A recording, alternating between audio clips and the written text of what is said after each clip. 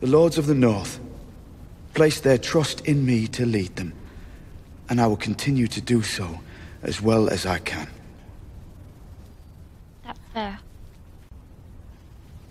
It's also fair to point out that you have the smallest penis in all the Seven Kingdoms.